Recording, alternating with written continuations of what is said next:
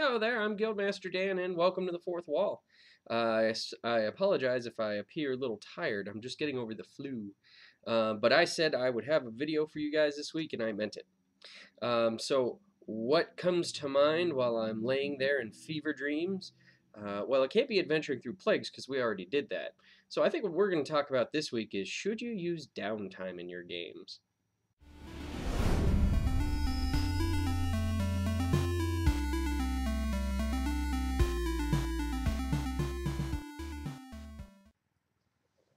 So I suppose the first thing I should do is define what I mean by downtime.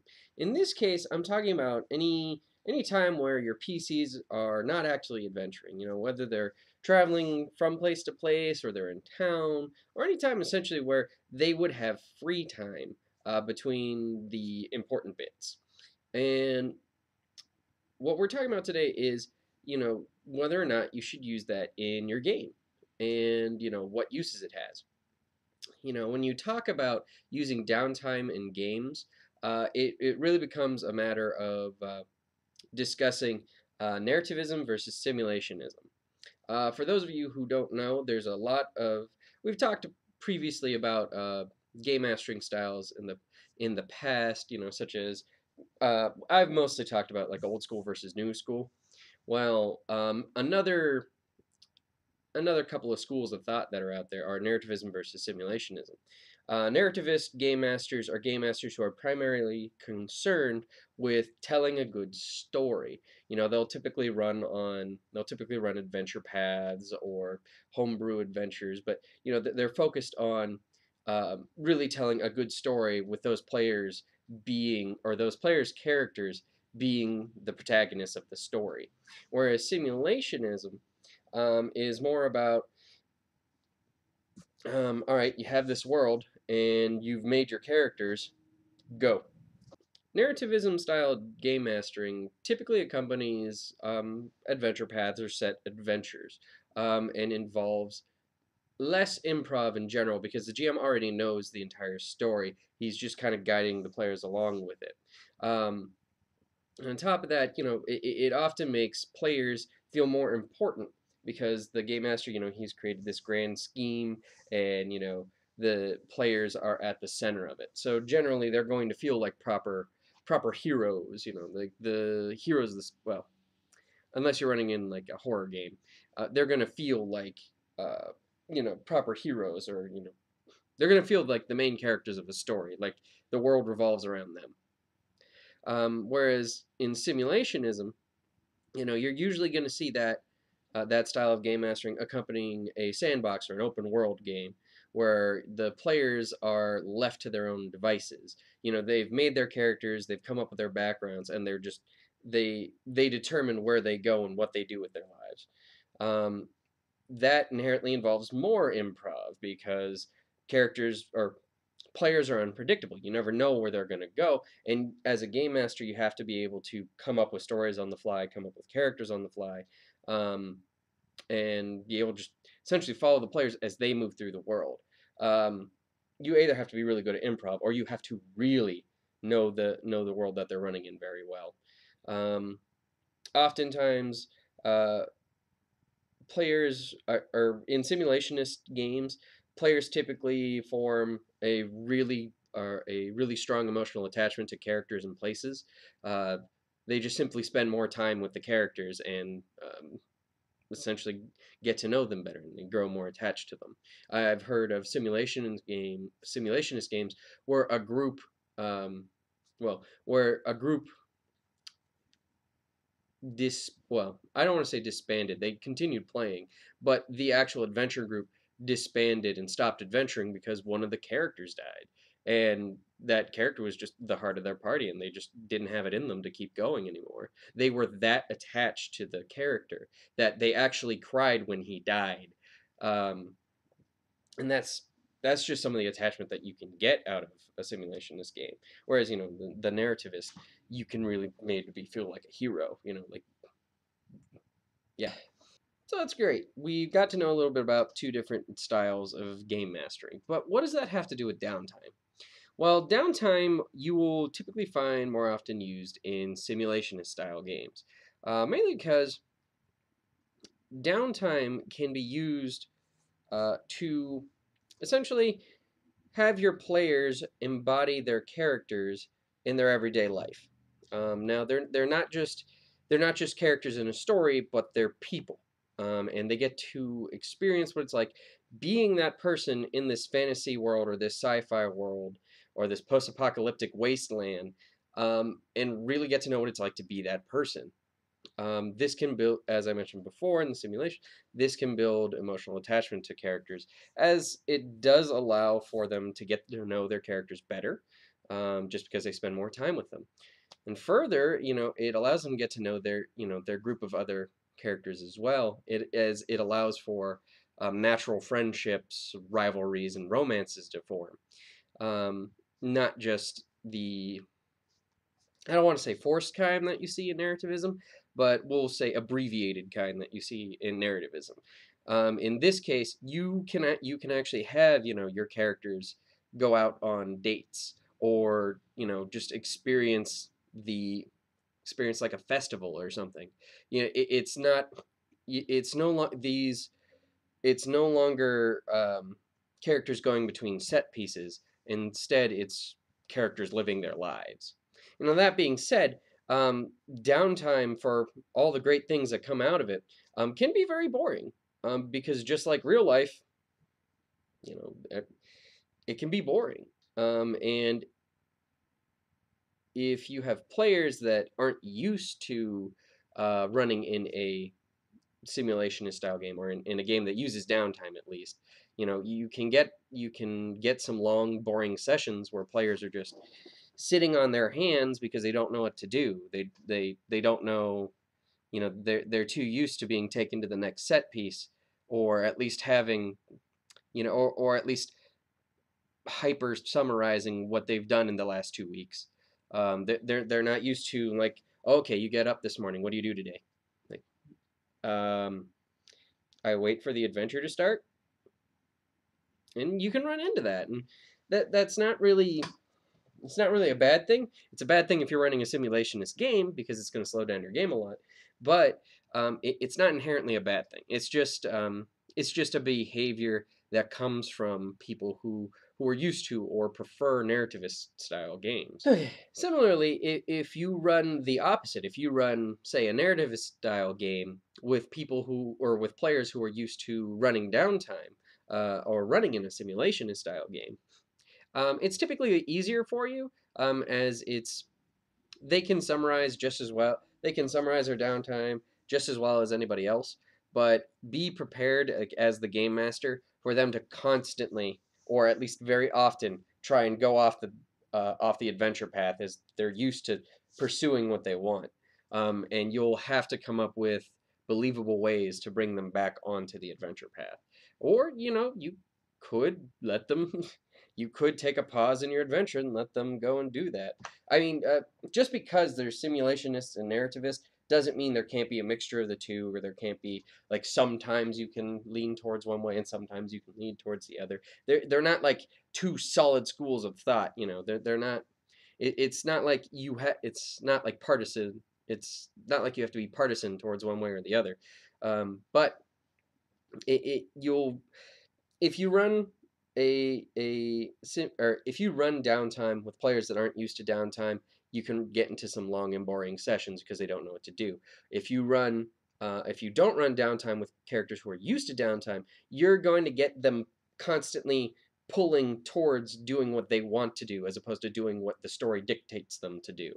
Um, and essentially, you're you're going to need more. You're going to need to be able to improv well with those people who are used to downtime um, versus the character. I mean, you gotta you have to be able to improv no matter what, but you're gonna you're gonna find yourself required to do more of it with those characters that are used to downtime.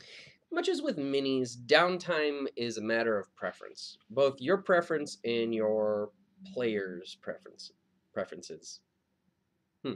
Um, and actually, more so than minis, your your player's preferences are your player's preferences with downtime are actually yeah. The, it, you may like to run uh, simulationist games, but if you're running with players that aren't used to it or prefer narrativist style games, um, you're gonna have a real hard time uh, running your game.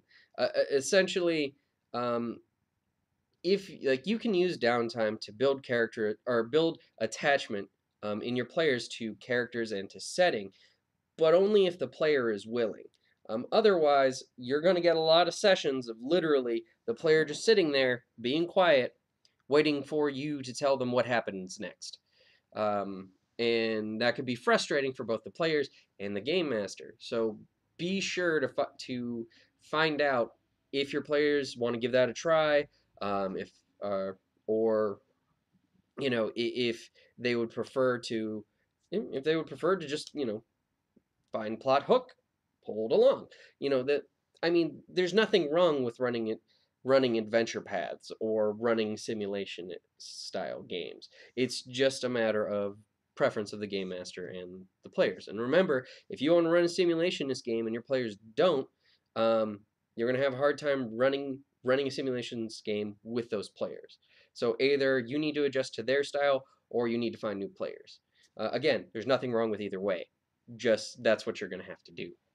Um, now, if you want to give downtime a try, like maybe the whole you know the whole embodying your character in their everyday life sounds kind of neat to you or at least you know you want to have them explore that a little bit um, i would suggest starting small um, like the next time they have to go to town um, have them be stuck over there for a couple of days maybe maybe there were rains while they were traveling and the the river that surrounds it has flooded the road so they can't leave right away or you know uh, if it's a sci-fi style game, it's going to take them a couple of days to repair the ship or something. Um, so okay, so they're stuck in town for a little bit, and you know that that's be sure that it's at a time when it's not a set piece. Them being stuck there, um, it's not part of the story that they're there. They're just delayed there because that happens in life, um, and just see how they want to spend their free time. You know, you, you don't necessarily have to go hour to hour.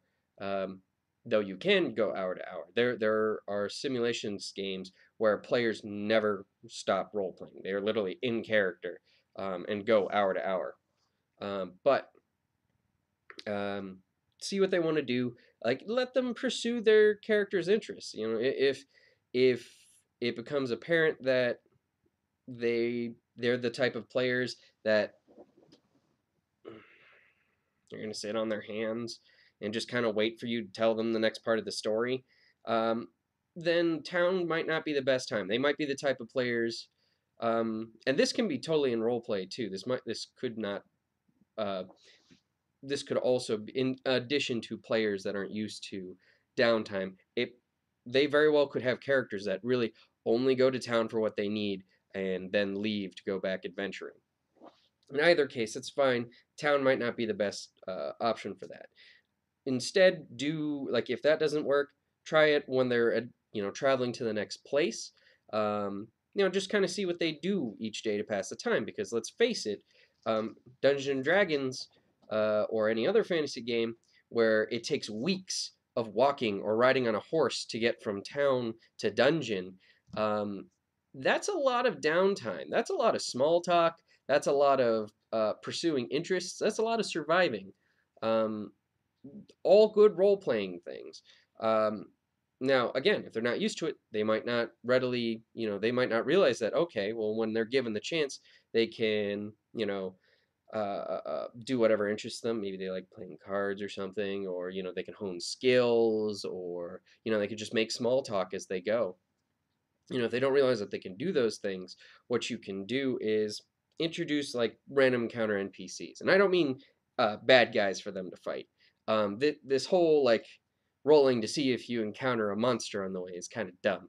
Um, no, we'll have them encounter maybe just some other travelers. Like maybe um, there's a person or a group that's going in the same direction as the party and they ask to travel with them.